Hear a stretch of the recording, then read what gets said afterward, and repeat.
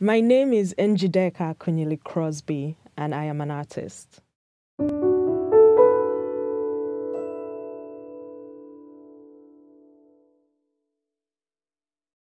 My work deals a lot with my life and domestic spaces and letting viewers take a glimpse into my everyday life, which is exactly what this does. It's a representation of the artist's mother, embroidering, which seems like an activity she probably did a lot.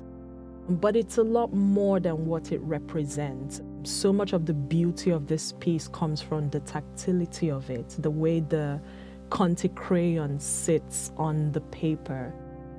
The lights in it are incredibly luminous, and the way the dark builds, you can almost see Seurat making these loops, this mark over a mark over a mark, and that begins to echo this action of embroidering that comes with the life his mother would have had in that time period. This quiet sitting in the corner and doing needlework there's this obsessive quality to it, especially to get to the darkest parts, which surrounds a lot of her.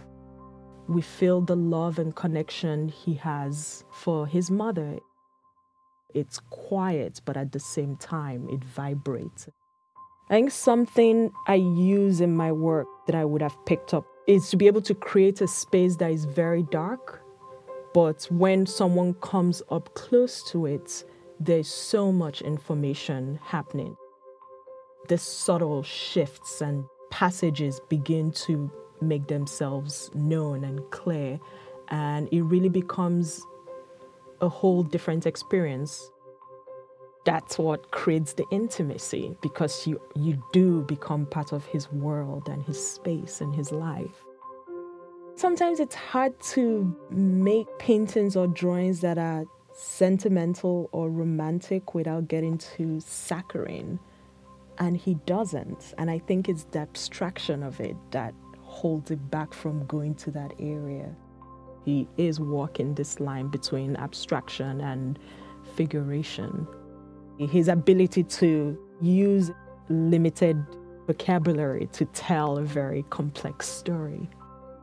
I think what makes it contemporary is the ability to work from a tradition but find a way to make it different, to invent from that tradition. And he's doing that.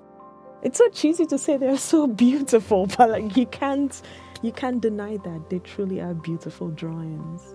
I mean, I guess we're taught now to always ask the why. It's not enough to just say it's beautiful.